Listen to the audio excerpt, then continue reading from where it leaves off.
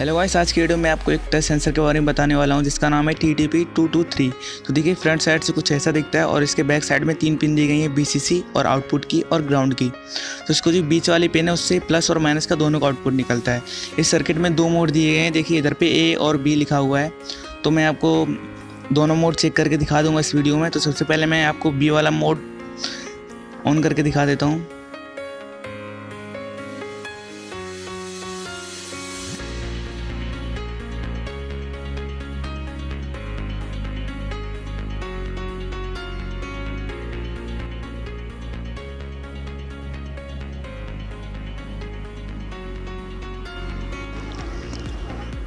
Guys देखिए late switch की तरह वर्क कर रहा है। एक बार फिंगर टच करता हूँ तो लाइट ऑन हो जाती है। दूसरी बार टच करता हूँ तो ऑफ़ हो जाती है। तो अभी इसके बीच वाली पिन से प्लस और माइनस का दोनों का आउटपुट निकलता है।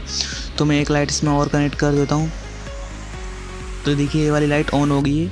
अभी जैसे इसके ऊपर मैं टच करता हूँ तो ये वाली ऑफ़ हो जाएगी, ये वाली ऑन हो जाएगी। तो मैं आपको दूसरा वाला मोड ऑन करके दिखा देता हूँ। तो मैं पहले बी को डिसकनेक्ट कर लेता हूँ और ए को कनेक्ट कर लेता हूँ। तो आपको दोनों को एक साथ कनेक्ट नहीं करना है तो हो सकता है आपका सर्किट ख़राब हो जाए।